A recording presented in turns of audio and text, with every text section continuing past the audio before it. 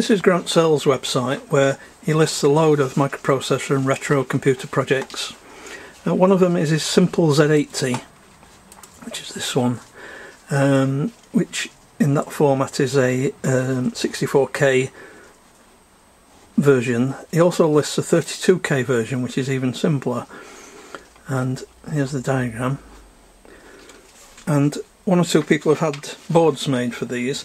Um, this one is done by Jeff Tranter, and he's kindly made it publicly available on um, Easy EDA, uh, so you can order the boards for yourself. And um, here's one which I've completed. It's a 6810 UART, the Z80.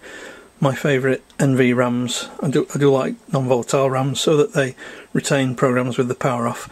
And the um, EEPROM, which is a 28B64. That's pin equivalent of a 2764 EEPROM. And if you've never used EEPROMs and you're still erasing with ultraviolet, these really are a revelation. So much easier and quicker. So that's the board.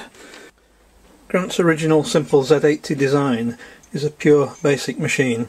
It just runs Microsoft Basic, uh, which is fantastic for Star Trek, Sargon Chess, and for uh, playing with the David Ahl uh, basic game, 101 Basic Games book. Um, if you want a bit of 70s uh, retro nostalgia programming uh, basic, um, it's fantastic for that. But um, I just wanted to go a little bit deeper, always do. Uh, if I fire up Tera Term,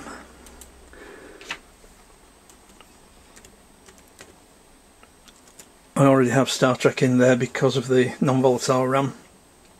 Uh, and um, if we if we reset the board, uh, just press the reset button. What I've done here is I've extended that cold, warm, or monitor. Um, cold start means it clears out any current basic program, starts again from scratch. Warm means it retains the existing um, basic program so that it's still in memory, you can still run it straight away. And monitor is a new command. Um, it's an 8K basic in an 8K EEPROM, and because Grant has taken out things that are irrelevant like cassette interfacing and uh, stuff to do with the NASCOM screen and keyboard, which are all built in, it's left space, which is just a nice amount for a, um, monitor to fit within the 8K uh, EEPROM. So if I say M monitor, we get the prompt MON. Let me just zoom in on that.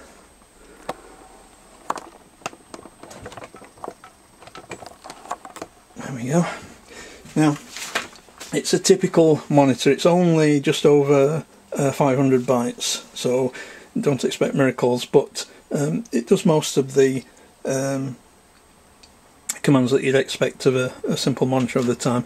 The first one, the very simplest, is B for basic. Puts you back to the cold warm or monitor. If I say warm, I can run again. And we're back in Star Trek. If I reset back into the monitor, I can display memory, D8000, and get the uh, bytes and the ASCII if it's printable ASCII and it has several commands. It has um, it does arithmetic, so I can say uh, arithmetic, and I want to do nine five four zero and nine five zero zero, and what it gives me there is the sum. That one plus that one, the difference, the second one minus the first one, and if this was a program that you were hand coding and you were at um, 9540 and you wanted to do a relative jump back to 9500, that is the relative jump offset you would need. So the a jump is 18, relative jump is 18, so the 18 would be followed by BE. 18BE would jump from 9540 to 9500. It's just a handy way of working out relative jumps without having to uh, count it manually. It does a, a copy um, so I've got some memory here, F displaying from FA00, and as you can see it's just full of rubbish. And there's some text here at F800, so I can say copy from F800 to FA00, and uh, we'll say copy 20 bytes. If we now display FA00, which was all this rubbish, it's now got the copied text in there. So it's copy it's an intelligent copy as well. If the areas overlap it doesn't corrupt anything it knows which way to copy it. It has an Intel hex loader so if I display memory from FD00 you'll see it's just full of random rubbish whatever the RAM powered up with uh, if I say I that's the Intel hex loader command and then I send a file. And the file is on D and it's called hex test.hex if I send that and for every block it reads it prints a little dot so you know there's some progress. But you can also see the progress on the uh, serial USB module you see the LED flashing. So now if we display from FD double you should see code that the uh, Intel hex file is loaded. G is the go-to command to run a program so if I say gfd double O and all this program does is it prints a little message over and over again keeps printing it until you press X. It's just to test that the hex loader is working that's all. So we're back into the monitor again. So that's the Intel hex loader. What else have we got? Um, modify memory. So if I say M FD double CD 68 FD. If you want to change that, we just type in a number, full stop to end the uh, modify session. If we D FD double O display, instead of this, you should see the 556677, which is there. So you've got modify. Uh, so that's basic arithmetic, modify, Intel hex loader, copy, go to a program. I think that's it. Um, the changes are, it's in three parts. Um, there's a change to the interrupt driven I.O. thing that's right at the beginning of the ROM. There's a change to that to give you the cold warm or monitor. There's also the um, basic itself, which at the moment the command monitor just resets the whole thing. Needs changing, so if you type monitor on the existing setup, that would just reboot the thing and you get the um, cold, war, cold or warm message again. From this one, it actually puts you into the monitor. So monitor works. So that's a change to the interrupt I/O thing. Um, a simple small change to the basic, and then the actual code of the monitor itself which lives right at the top of the uh, EEPROM. So there you go. Um, gives you a 32k retro computer in five chips with um, program retention on power off and uh, I'll just demonstrate that if you like. Uh, there we go, just switch off.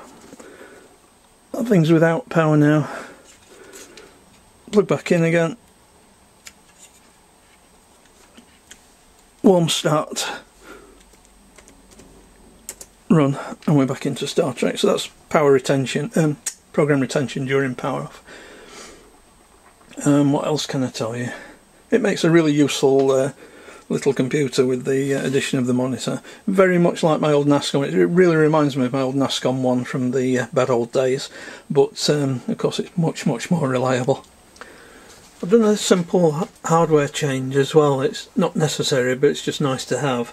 The reset circuit on Grant's original is just simply a pull-up resistor on the reset line and a button to ground. So there's no power on reset at all, you have to press the button to reset it. And all I've done is to add a um, DS1233 between pause, neg and reset, which are conveniently very close together on the underside of the Z80. So the DS1233 it just looks like a little transistor. The three legs just conveniently fall into place under the Z80 and it means you get a proper power on reset uh, with a 300 millisecond delay and it also debounces any manual press of the reset button as well so I think it's worth doing and they're only about a quid each the uh, DS1233s I'll put links in the description to Grant's site uh, particularly the 32, 32k version which is what we've got here and to uh, Easy EDA uh, where I got the boards and thanks to Jeff Tranter um, he's made them uh, publicly available. I had 10 done, so I've got 9 spares if anybody wants one at cost. Um, and also links to the files on philg.uk where you can uh, download the EEPROM contents and, and, modify your own board, so it's the same as this with the monitor and everything. One thing I do uh, very much uh, like is the um, NVRAMs. Uh, having no storage at all, it's great to be able to switch this thing off uh, come back to it a week later, switch it on and play Star Trek without having to load anything. It's brilliant. Um, these NVRAMs, if, if I was to specify a particular one, a week later you'd probably find it's out of stock. But they're all the same. As long as it's a byte wide um, NVRAM, they're all pretty much the same. There are also some Cypress uh, FRAMs as well, which are the same pinout. Um, same sort of thing, but they don't use a battery, uh, but they do retain during power off. So there's the 48Z35, there's the Dallas DS ones, uh, there's some ST ones. They're all pretty much exactly the same, so I'm not going to link to a particular one because stock is up and down at the moment. But any byte wide 32k by 8 NVRAM is uh, is just spot on for the job. Have a variety and use them in all sorts of projects. There you go. Thanks very much. Cheers.